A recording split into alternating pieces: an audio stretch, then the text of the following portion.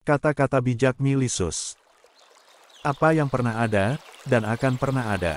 Sebab, jika ia telah menjadi ada, ia pasti belum ada apa-apanya sebelum ia menjadi ada. Sekarang, jika itu bukan apa-apa, tidak mungkin ada sesuatu yang muncul dari ketiadaan. Juga tidak ada yang kosong, karena yang kosong bukanlah apa-apa. Apa yang tidak ada tidak bisa. Juga tidak bergerak, karena ia tidak memiliki tempat untuk dipertaruhkan, tetapi penuh. Karena jika ada yang kosong, itu akan membawa dirinya sendiri ke yang kosong. Tapi, karena tidak ada yang kosong, ia tidak punya tempat untuk dipertaruhkan.